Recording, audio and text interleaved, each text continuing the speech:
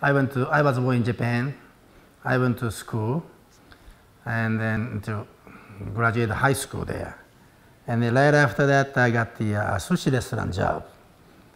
You know, so I learned how to make sushi, sashimi, and then actually I don't I don't want to describe anybody any any food.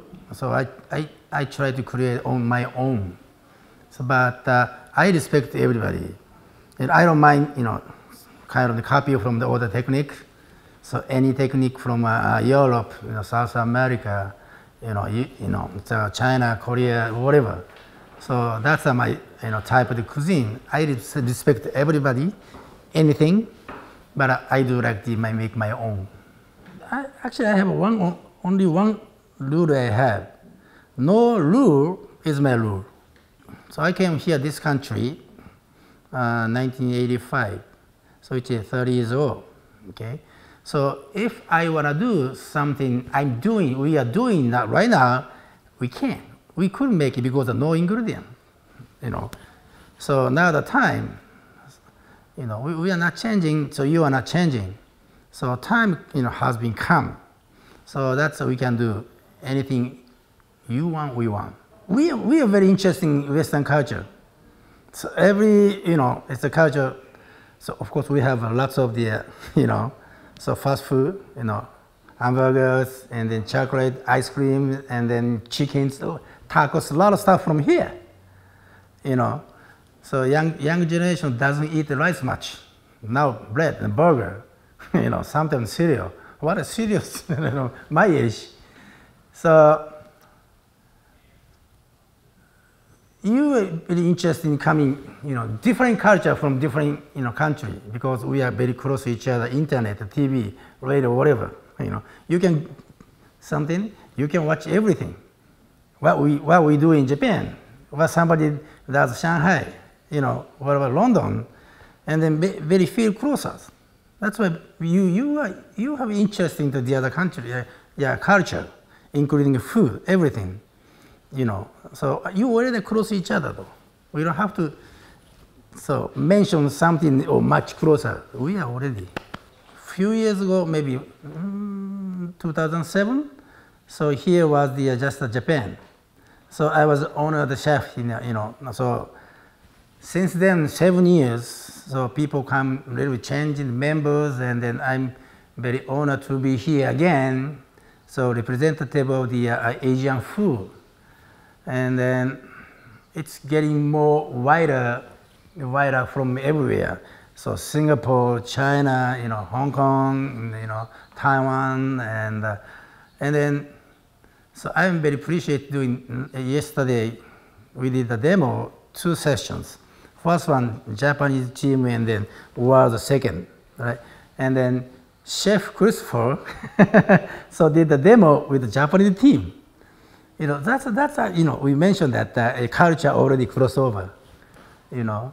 So he didn't do uh, exactly Japanese food, cuisine, but uh, he used some kind of the apple leaf instead of the like a cherry blossom leaf. That's kind of mind technique already, you know, crossover. So that's, I feel, much, much more than last time, so which is 2007 and a lot of people curious about, oh, what's the next boom in this country, right? Sushi came and this of, and then now the ramen boom, which is ramen, ramen noodle, which is you ate it, and then so lots of ramen, you know, like a, a chef came here.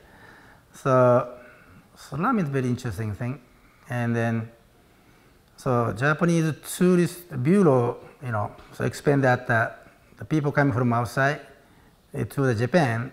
So what's the more interesting food, of course, sushi number one. Second, ramen.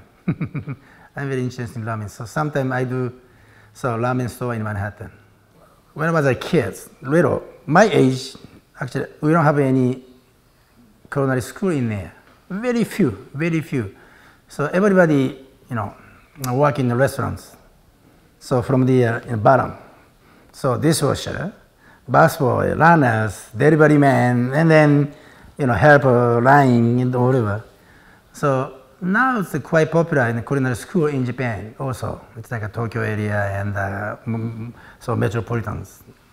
So that's a good thing too, you know.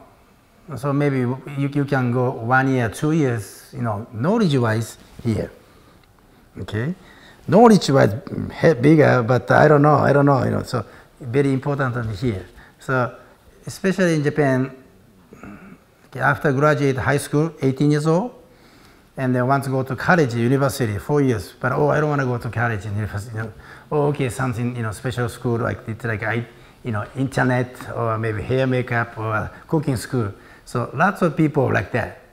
So two more years, you know, easy life. No, no, no. Spend money to learn. Okay, have to be more serious. Then you don't have to decide the uh, make decide which one you go.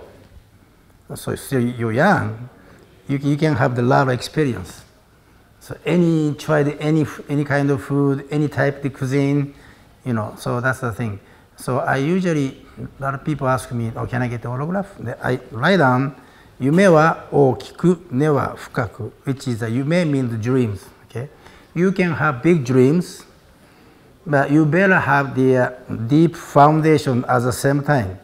Big dreams and the deep foundation. If okay, you, everybody can have the big dream, but you know, short foundation and fail. So you make foundation first, then big dreams.